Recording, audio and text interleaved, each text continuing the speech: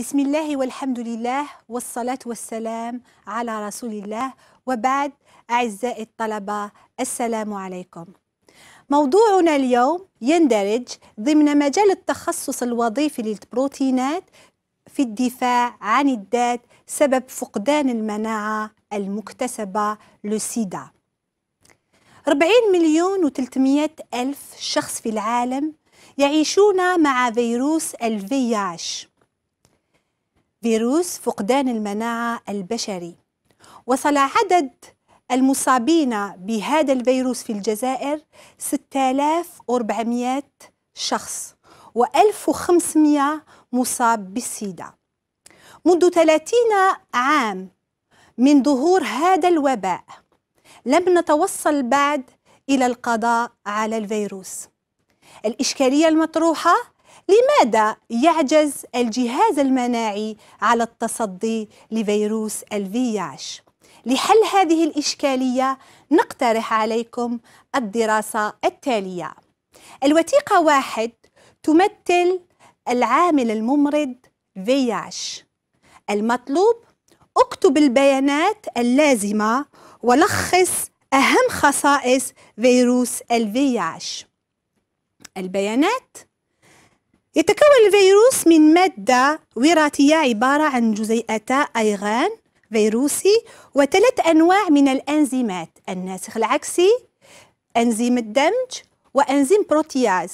داخل محفظة تتكون من بروتين P24 يحيط بها بروتين P17 والتي يحيط بها كذلك طبقة مضاعفة فوسفوليبيدية تحمل بروتينات غشائية GP120 و GP41 أهم خصائص الفيروس. قطره صغير جدا. تقريبا 120 نانومتر. طبيعة المعلومة الوراثية هي عبارة عن جزيئتا ARN. الغلاف طبقة فوسفوليبيدية تحمل بروتينات سطحية جي بي 120 البروتينات الداخلية أهمها أنزيم الناسخ العكسي.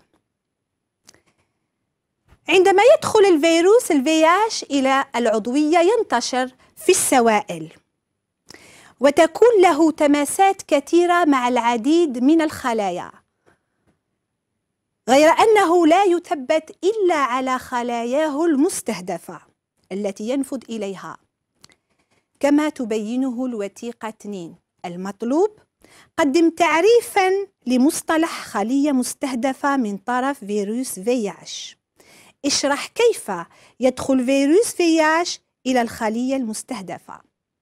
مصطلح خلية مستهدفة يطلق على الخلايا التي يمكنه التثبت عليها والتي تملك على سطح غشائها مستقبلات ال CD4 مثل الخلايا اللمفاوية ال T4 خلايا ال monocytes وال macrophages لشرح كيفية دخول الفيروس في الخلية المستهدفة ال T4 نتابعنا معا النمذجة التالية. يرتبط بروتين GP120 من مكونات الغلاف الفيروسي بمستقبلات غشائية نوعية CD4 من مكونات غشاء الخلية ال T4 تتفكك المحفظة الفيروسية في مكان الارتباط مع اندماج الأغشية الخلوية ويتم تفريغ محتوى المحفظة داخل ال LT4. يحول إنزيم الناسخ العكسي l'ARN الفيروسي إلى ADN فيروسي الذي يندمج ضمن l'ADN ال LT4.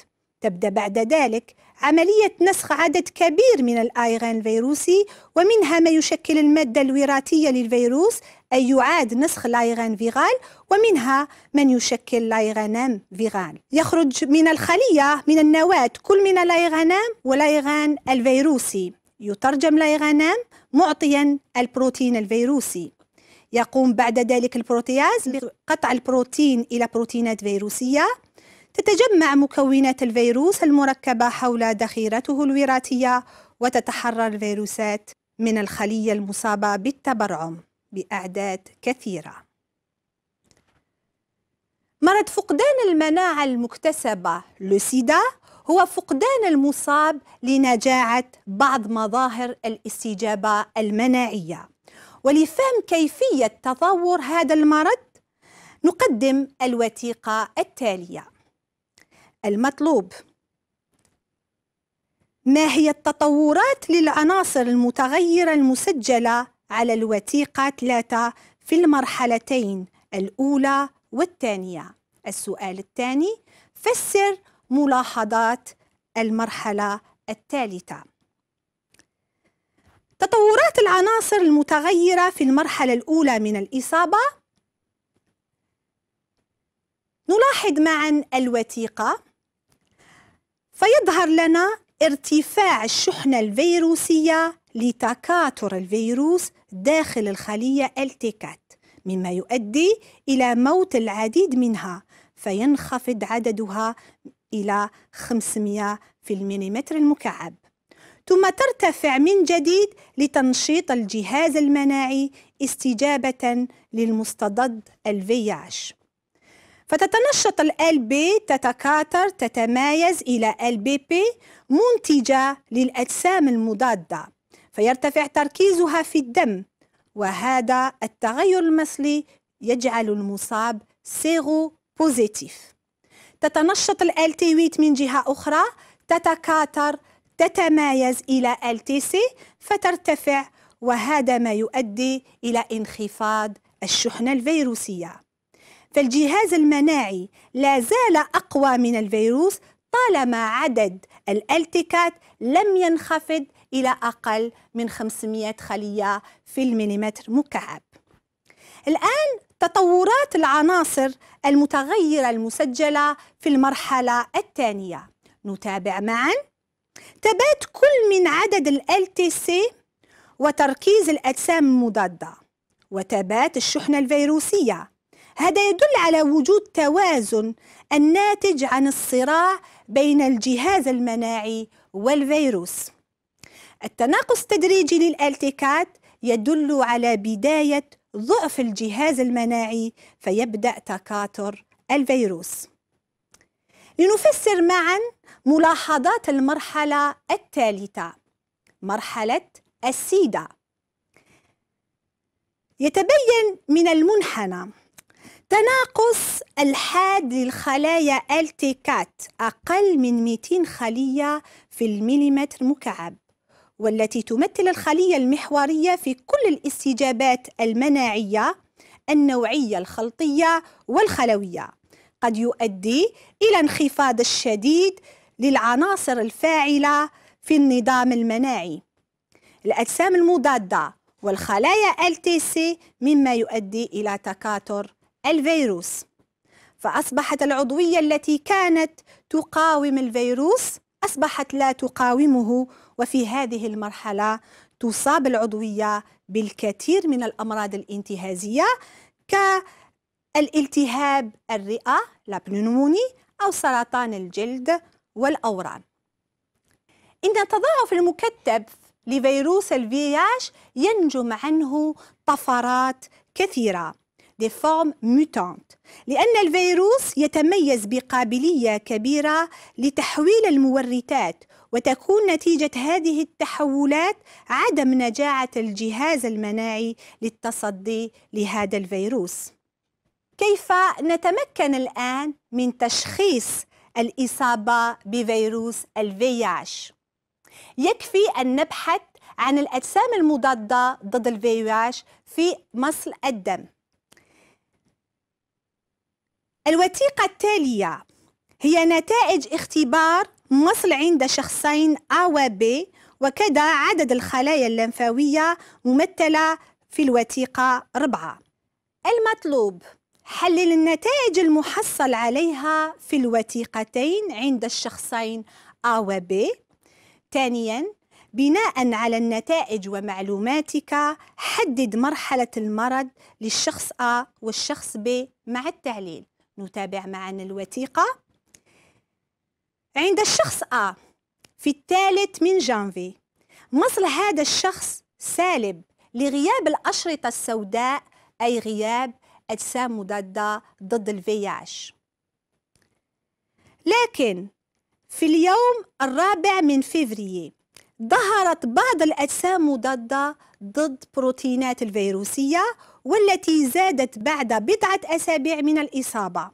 كما نسجل انخفاض في عدد اللمفاويات من 880 إلى 520 par millimètre cube. الشخص ب في اليوم 15 جانفي كان مصله موجب أي يحتوي جسمه على أجسام مضادة ضد الفياش واليوم 12 جوية بدأت الأجسام مضادة في الاختفاء. كما نسجل انخفاض معتبر في عدد اللمفاويات التيكات لتصل إلى 95 في المليمتر المكعب. إذا مرحلة المرض للشخص A. بما أن مصله كان سالبا ثم ظهرت الأجسام مضادة وتناقصت الالتيكات إلى 520 في المليمتر مكعب فالمرحلة هي مرحلة الإصابة الأولية. بينما الشخص ب بما أن مصله كان موجبا وأصبح سالبا نوعا ما لتناقص الأجسام المضادة. فمرحلة المرض هنا هي مرحلة السيدا. نصل أعزائي الطلبة إلى الخلاصة بجمع كل المعلومات التي توصلنا إليها في هذا الموضوع لحل الإشكالية المطروحة سابقا والتي كانت لماذا يعجز الجهاز المناعي للتصدي لفيروس ال VIH. تلعب الخلايا ال LT4 المناعية دورا محوريا في سيرورة النظام المناعي لأنها تقوم بتحفيز الخلايا المناعية. فهي تؤثر على الخلايا ال B كي تتكاثر تتمايز إلى plasmocytes منتجة لأجسام مضادة وحدوث استجابة مناعية خلطية. وتؤثر كذلك على الخلايا التي كي تتكاثر وتتمايز إلى التي القاتلة وحدوث استجابة مناعية خلوية. بدون التكات المخربة من طرف الفياش تصبح المناعة النوعية عاطلة فيظهر السيدا أعزائي الطلبة ينتهي موضوعنا اليوم. أترككم في رعاية الله وحفظه.